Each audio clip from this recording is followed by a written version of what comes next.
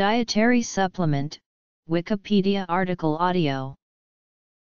A dietary supplement is a manufactured product intended to supplement the diet when taken by mouth as a pill, capsule, tablet, or liquid.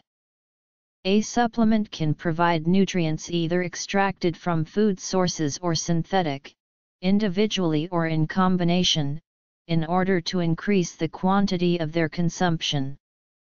The class of nutrient compounds includes vitamins, minerals, fiber, fatty acids, and amino acids.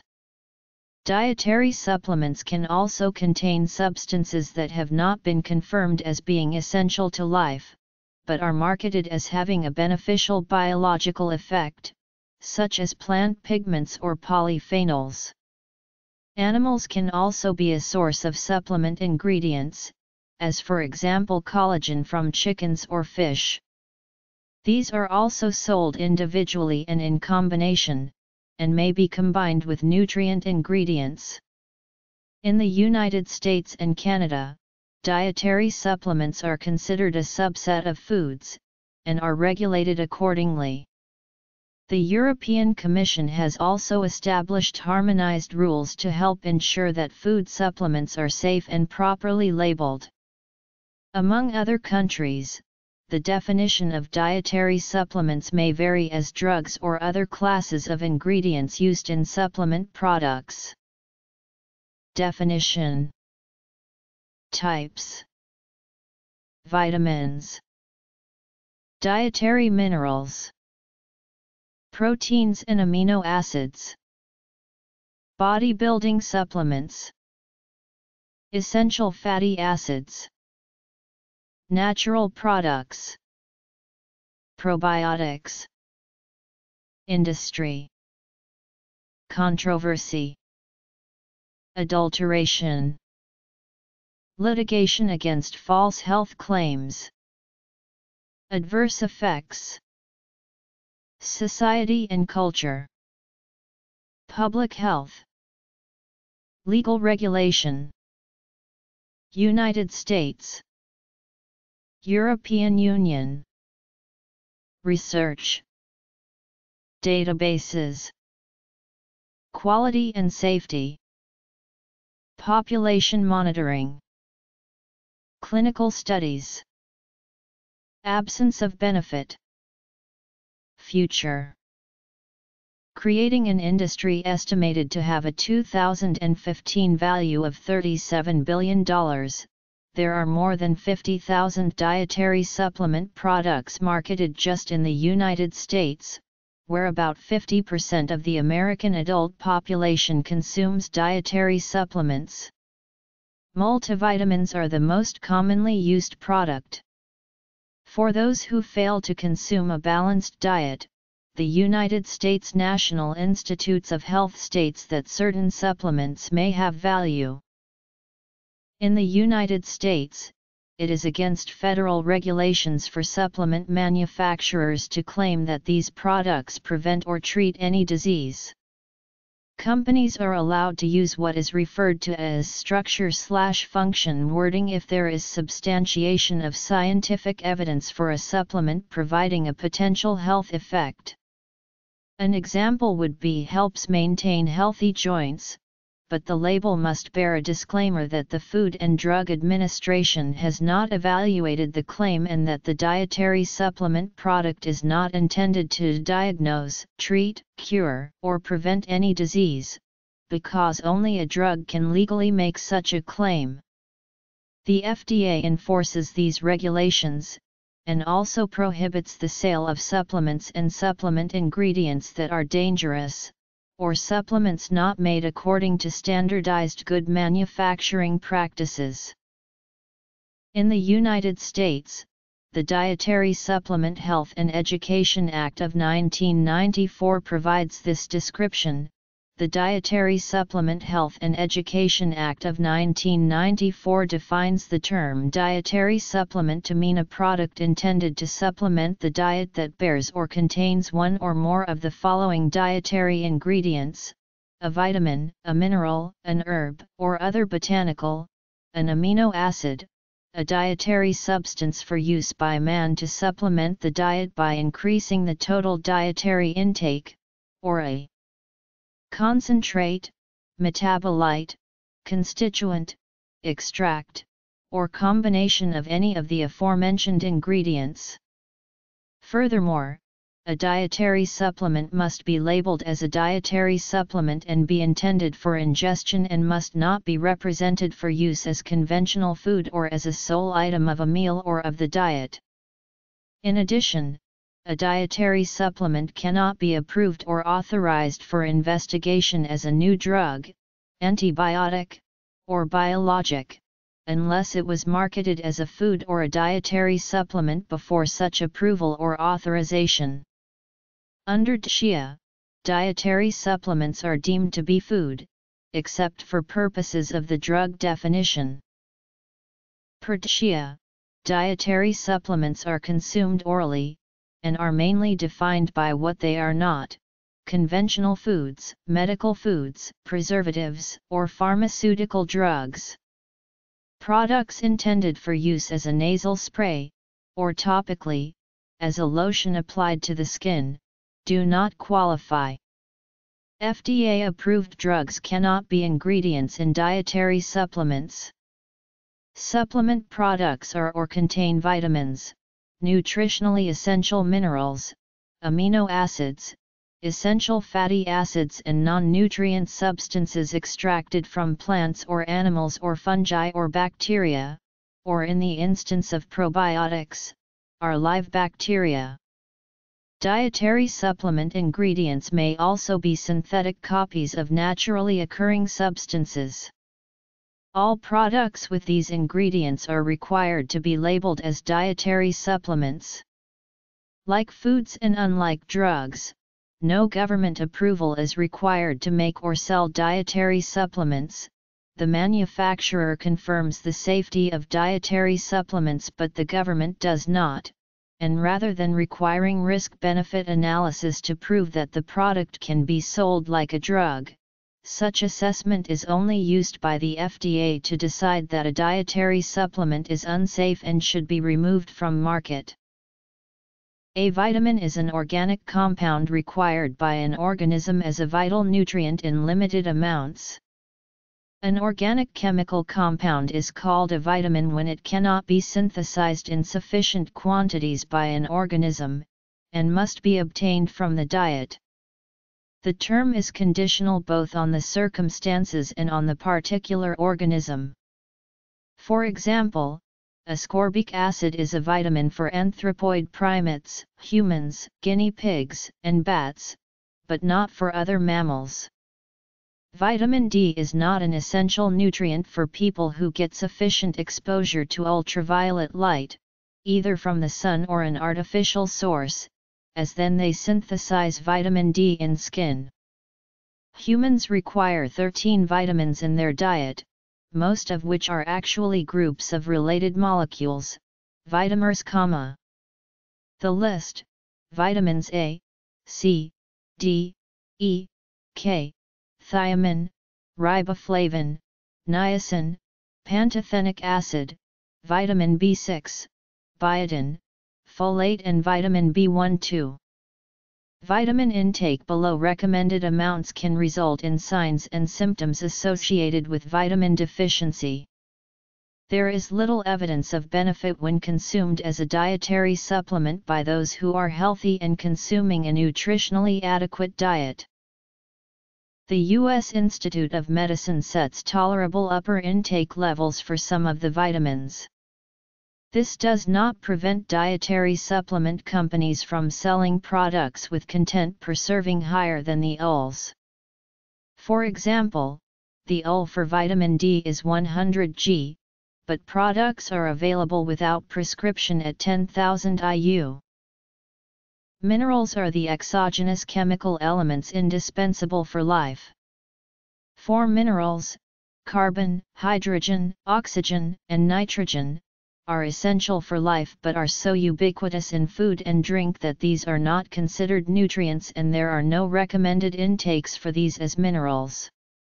The need for nitrogen is addressed by requirements set for protein, which is composed of nitrogen-containing amino acids. Sulfur is essential, but for humans, not identified as having a recommended intake per SE. Instead, recommended intakes are identified for the sulfur-containing amino acids methionine and cysteine. There are dietary supplements which provide sulfur, such as taurine and methylsulfonylmethane. The essential nutrient minerals for humans, listed in order by weight needed to be at the recommended dietary allowance or adequate intake are potassium, chlorine, sodium, calcium, phosphorus, magnesium, iron, zinc, manganese, copper, iodine, chromium, molybdenum, selenium, and cobalt. There are other minerals which are essential for some plants and animals, but may or may not be essential for humans, such as boron and silicon. Essential and purportedly essential minerals are marketed as dietary supplements, individually and in combination with vitamins and other minerals. Although as a general rule, dietary supplement labeling and marketing are not allowed to make disease prevention or treatment claims, the US FDA has for some foods and dietary supplements reviewed the science, concluded that there is significant scientific agreement, and published specifically worded allowed health claims. An initial ruling allowing a health claim for calcium dietary supplements and osteoporosis was later amended to include calcium supplements with or without vitamin D, effective January 1, 2010. Examples of allowed wording are shown below. In order to qualify for the calcium health claim, a dietary supplement must contain at least 20% of the reference dietary intake, which for calcium means at least 260 mg serving. In the same year, the European Food Safety Authority also approved a dietary supplement health claim for calcium and vitamin D and the reduction of the risk of osteoporotic fractures by reducing bone loss. The US FDA also approved qualified health claims for various health conditions for calcium, selenium, and chromium picolinate. QHCs are supported by scientific evidence, but do not meet the more rigorous significant scientific agreement standard required for an authorized health claim. If dietary supplement companies choose to make such a claim then the FDA stipulates the exact wording of the QHC to be used on labels and in marketing materials. The wording can be onerous. One study suggests that selenium intake may reduce the risk of bladder cancer in women. However, one smaller study showed no reduction in risk. Based on these studies, FDA concludes that it is highly uncertain that selenium supplements reduce the risk of bladder cancer in women. Protein-containing supplements, either ready to drink or as powders to be mixed into water, are marketed as aids to people recovering from illness or injury, those hoping to thwart the sarcopenia of old age, to athletes who believe that strenuous physical activity increases protein requirements, to people hoping to lose weight while minimizing muscle loss, i.e., conducting a protein-sparing modified fast, and to people who want to increase muscle size for performance and appearance. Whey protein is a popular ingredient, but products may also incorporate casein, soy, pea, hemp, or rice protein. According to US and Canadian dietary reference intake guidelines, the protein recommended dietary allowance for adults is based on 0.8 grams protein per kilogram body weight. The recommendation is for sedentary and lightly active people. Scientific reviews can conclude that a high protein diet, when combined with exercise, will increase muscle mass and strength, or conclude the opposite. The International Olympic Committee recommends protein intake targets for both strength and endurance athletes at about 1.2 to 1.8 g/kg body mass per day. One review proposed a maximum daily protein intake of approximately 25% of energy requirements, i.e., approximately 2.0 to 2.5 g/kg. The same protein ingredients marketed as dietary supplements can be incorporated into meal replacement and medical food products, but those are regulated and labeled differently from supplements. In the United States, meal replacement products are foods and are labeled as such. These typically contain protein, carbohydrates, fats, vitamins, and minerals. There may be content claims such as good source of protein, low fat or lactose free. Medical foods, also nutritionally complete, are designed to be used while a person is under the care of a physician or other licensed healthcare professional. Liquid medical food products, example Ensure, are available in regular and high protein versions. Proteins are chains of amino acids. Nine of these proteinogenic amino acids are considered essential for humans because they cannot be produced from other compounds by the human body and so must be taken in as food. Recommended intakes, expressed as milligrams per kilogram of body weight per day, have been established. Other amino acids may be conditionally essential for certain ages or medical conditions. Amino acids, individually and in combinations, are sold as dietary supplements. The claim for supplementing with the branched chain amino acids leucine, valine, and isoleucine is for stimulating muscle protein synthesis. A review of the literature concluded this claim was unwarranted. In elderly people, supplementation with just leucine resulted in a modest increase in lean body mass. The non-essential amino acid arginine, consumed in sufficient amounts, is thought to act as a donor for the synthesis of nitric oxide, a vasodilator. A review confirmed blood pressure lowering. Taurine, a popular dietary supplement ingredient with claims made for sports performance, is technically not an amino acid. It is synthesized in the body from the amino acid cysteine. Bodybuilding supplements are dietary supplements commonly used by those involved in bodybuilding, weightlifting, mixed martial arts, and athletics for the purpose of facilitating an increase in lean body mass.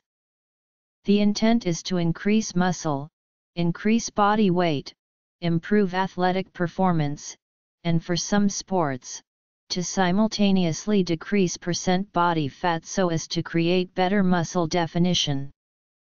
Among the most widely used are high protein drinks, branched chain amino acids, glutamine, arginine, essential fatty acids, creatine, HMB, and weight loss products.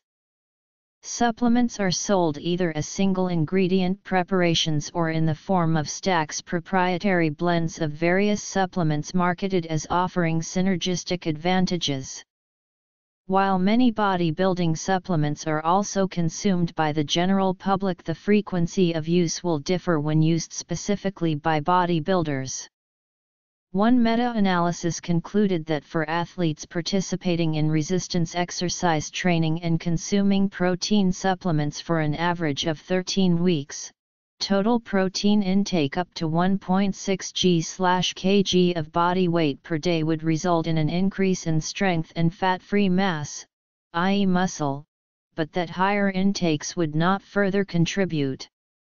The muscle mass increase was statistically significant but modest, averaging 0.3 kg for all trials and 1.02.0 kg, for protein intake greater than or equal to 1.6 g/kg/day. As of 2010, annual sales of sport nutrition products in the United States was over 2.7 billion US dollars according to a publication by Consumer Reports. Fish oil is a commonly used fatty acid supplement because it is a source of omega-3 fatty acids. Fatty acids are strings of carbon atoms, having a range of lengths. If links are all single, then the fatty acid is called saturated, with one double bond, it is called monounsaturated, if there are two or more double bonds, it is called polyunsaturated. Only two fatty acids, both polyunsaturated, are considered essential to be obtained from the diet, as the others are synthesized in the body. The essential fatty acids are alpha-linolenic acid, an omega-3 fatty acid, and linoleic acid, an omega-6 fatty acid. ALA can be elongated in the body to create other omega-3 fatty acids, eicosapentaenoic acid and docosahexaenoic acid. Plant oils, particularly seed and nut oils, contain ALA. Food sources of EPA and DHA are oceanic fish, whereas dietary supplement sources include fish oil, krill oil, and marine algae extracts. The European Food Safety Authority identifies 250 mg/day for a combined total of EPA and DHA as adequate intake, with the recommendation that women pregnant or lactating consume an additional 100 to 200 mg/day of DHA. In the United States and Canada are adequate intakes for ALA and LA over various stages of life, but there are no intake levels specified for EPA and slash or DHA.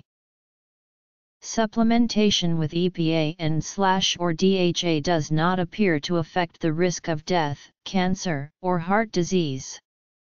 Furthermore, studies of fish oil supplements have failed to support claims of preventing heart attacks or strokes.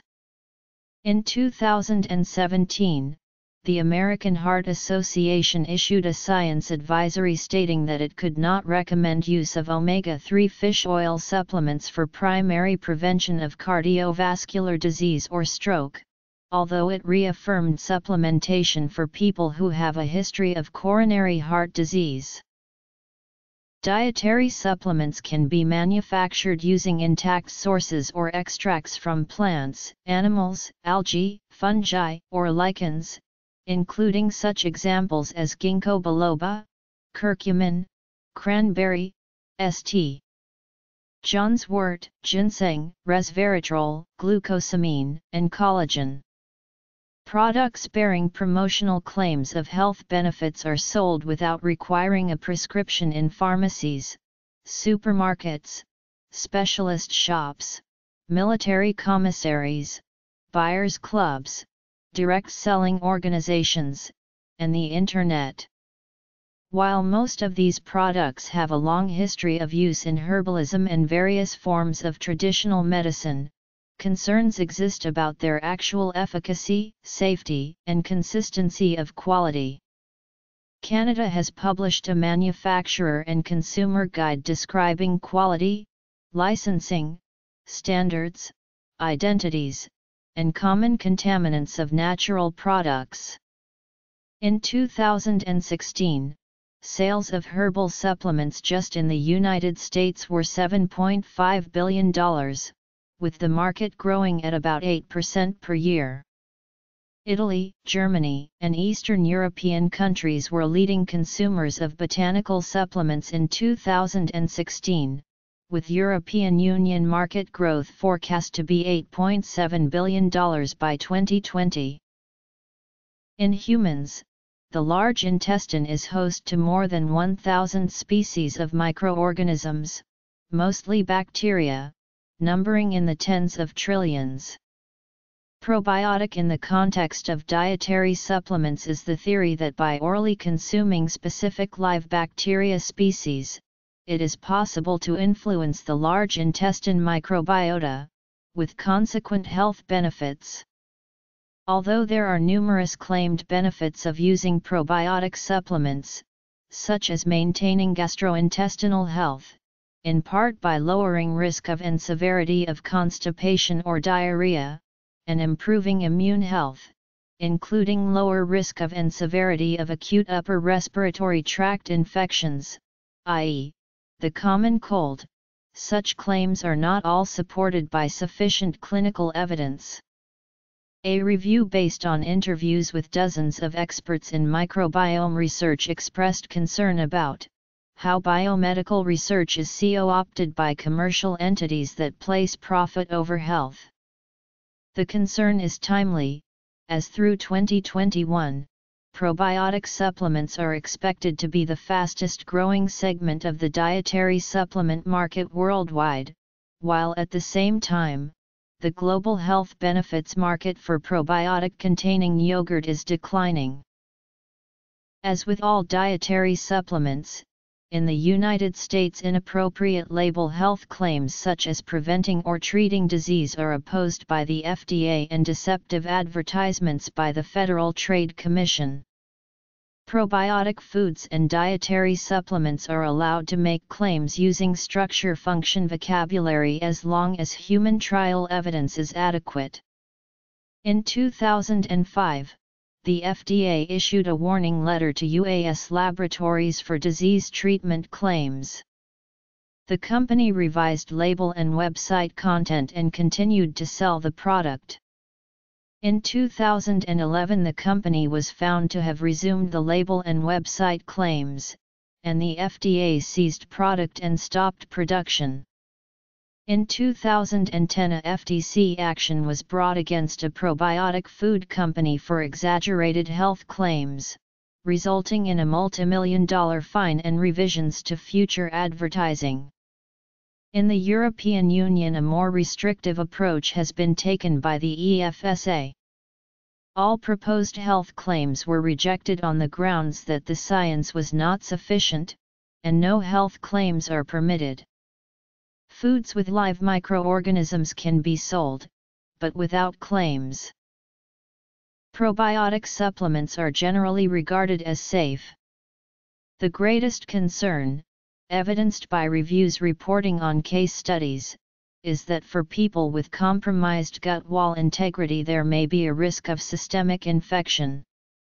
For this reason, probiotic research is expected to exclude bacteria species that are antibiotic resistant.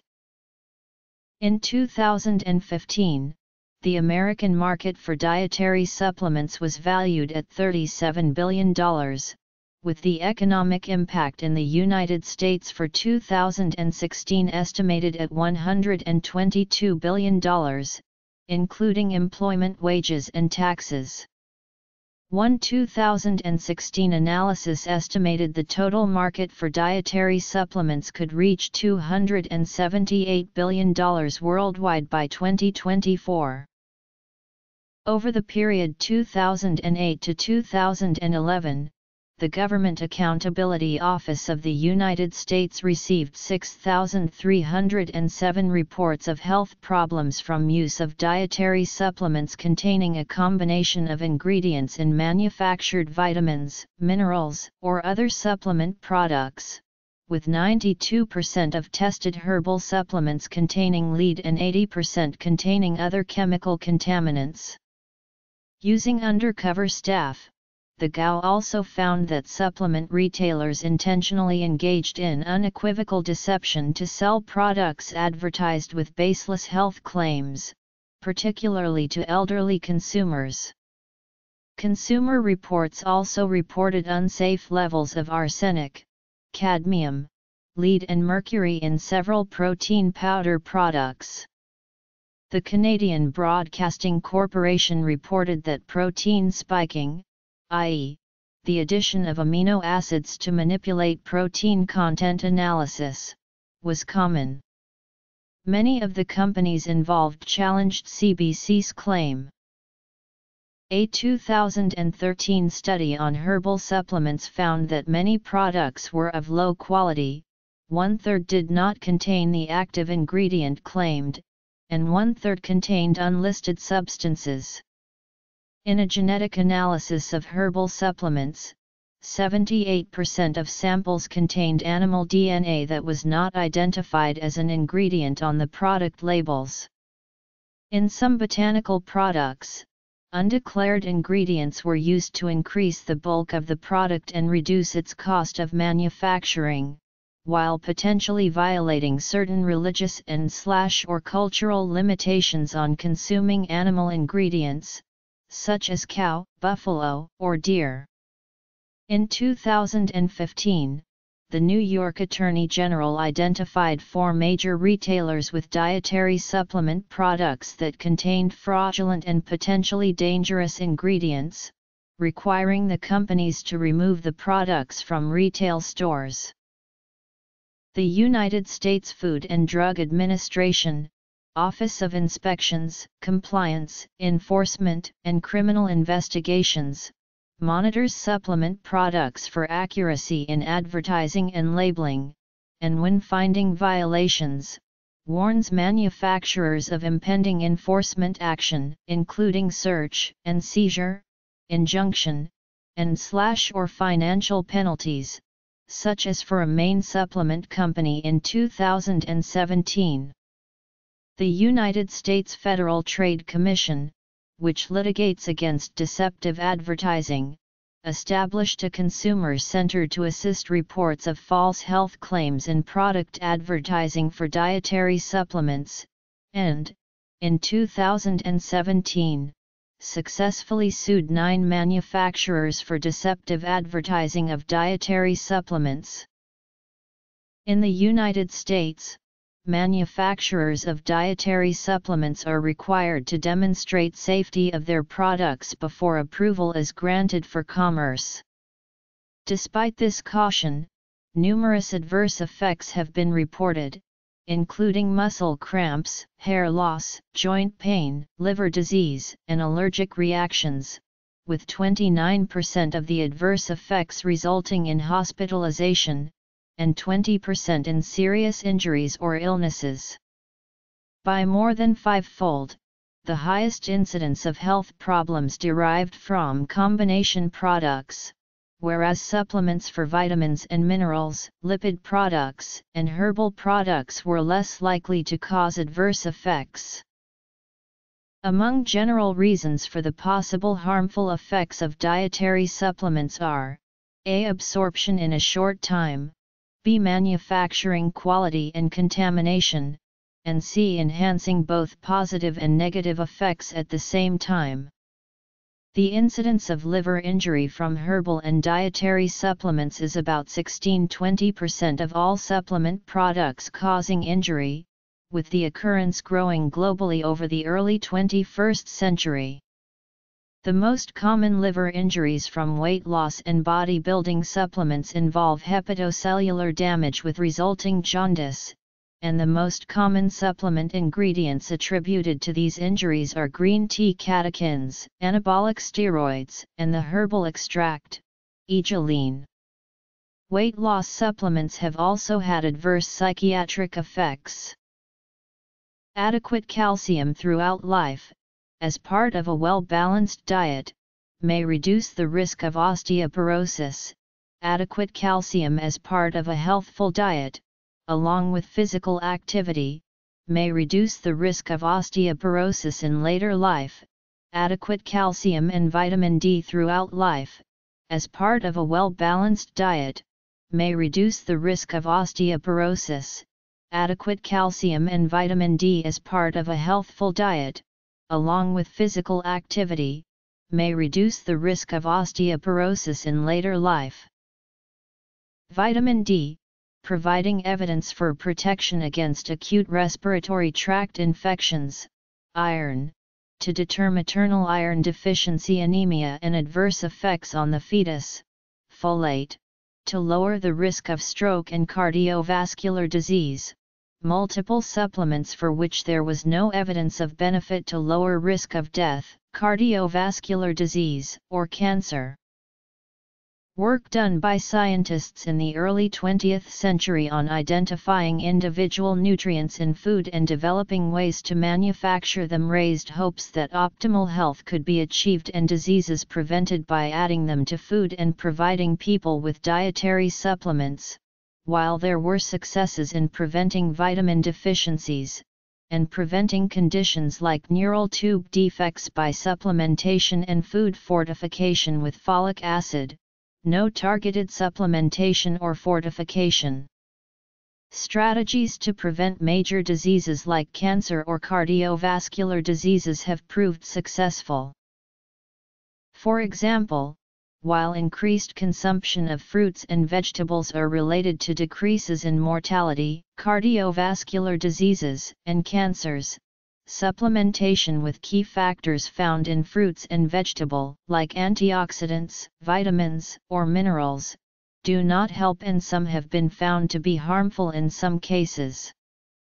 In general as of 2016, robust clinical data is lacking, that shows that any kind of dietary supplementation does more good than harm for people who are healthy and eating a reasonable diet but there is clear data showing that dietary pattern and lifestyle choices are associated with health outcomes.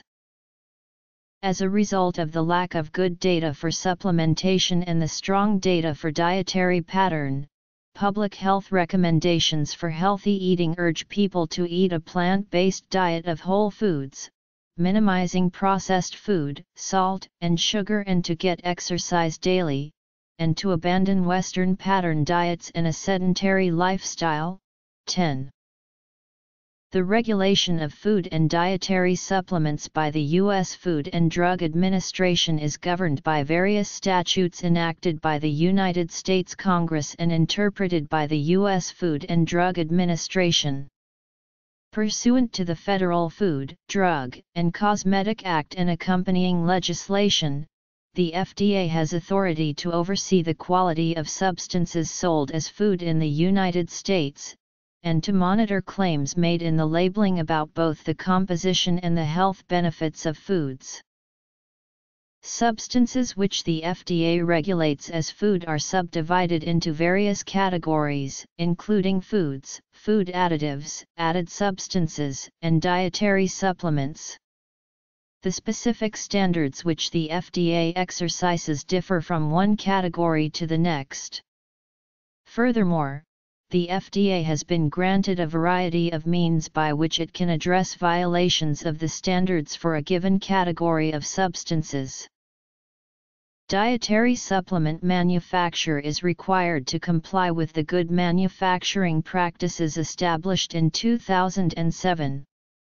The FDA can visit manufacturing facilities, send warning letters if not in compliance with GMPs, stop production, and if there is a health risk, require that the company conduct a recall. The European Union's Food Supplements Directive of 2002 requires that supplements be demonstrated to be safe, both in dosages and in purity. Only those supplements that have been proven to be safe may be sold in the EU without prescription. As a category of food, food supplements cannot be labeled with drug claims but can bear health claims and nutrition claims. The dietary supplements industry in the United Kingdom, one of the 28 countries in the bloc, strongly opposed the directive.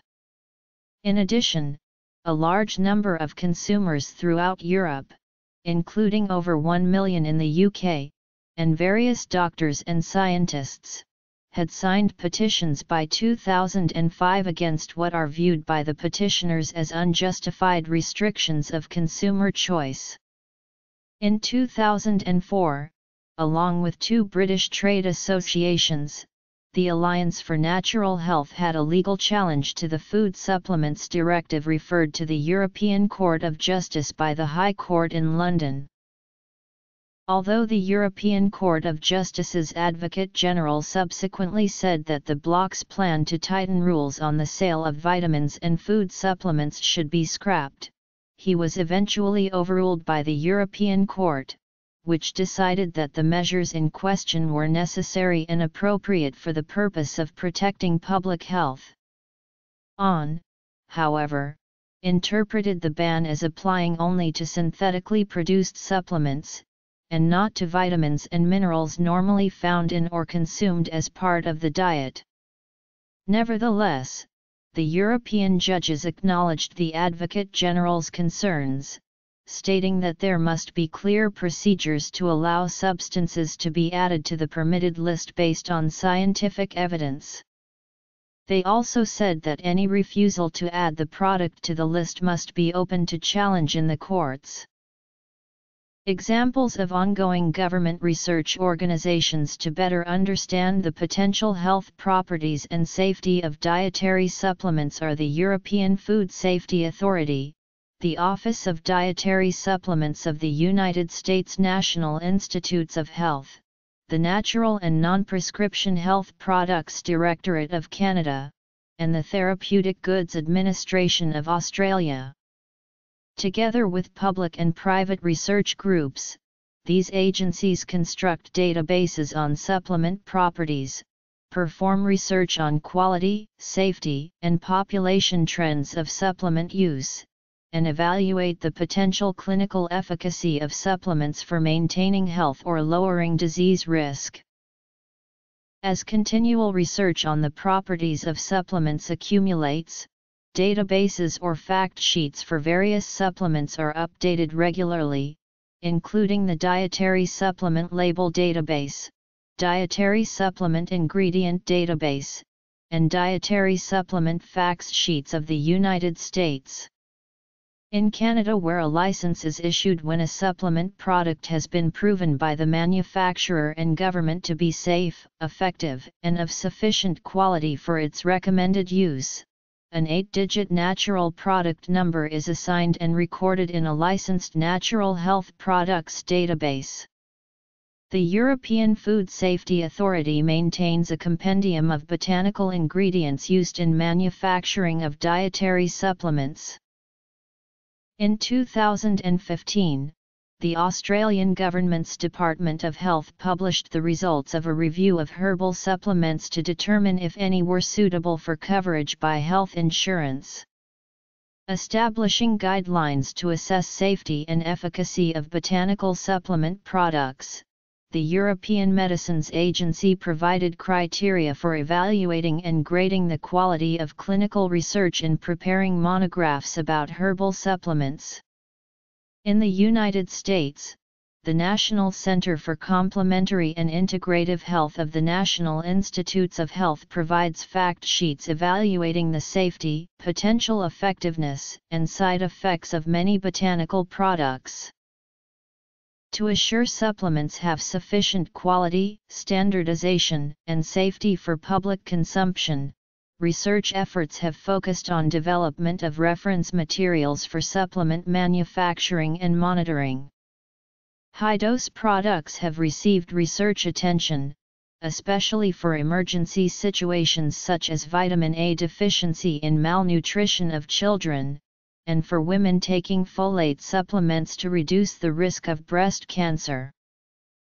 In the United States, the National Health and Nutrition Examination Survey has investigated habits of using dietary supplements in context of total nutrient intakes from the diet in adults and children. Over the period of 1999 to 2012, use of multivitamins decreased, and there was wide variability in the use of individual supplements among subgroups by age, sex, race/ethnicity, and educational status. Particular attention has been given to use of folate supplements by young women to reduce the risk of fetal neural tube defects. Research initiatives to improve knowledge of the possible health benefits of supplementing with essential nutrients to lower disease risk have been extensive. As examples, just in 2017 were reviews on a 2017 review indicated a rising incidence of liver injury from use of herbal and dietary supplements, particularly those with steroids, green tea extract, or multiple ingredients. The potential benefit of using essential nutrient dietary supplements to lower the risk of diseases has been refuted by findings of no effect or weak evidence in numerous clinical reviews, such as for cardiovascular diseases, cancer, HIV, or tuberculosis. Improving public information about use of dietary supplements involves investments in professional training programs, further studies of population and nutrient needs, expanding the database information, enhancing collaborations between governments and universities, and translating dietary supplement research into useful information for consumers, health professionals, scientists, and policymakers. Future demonstration of efficacy from use of dietary supplements requires high-quality clinical research using rigorously qualified products and compliance with established guidelines for reporting of clinical trial results.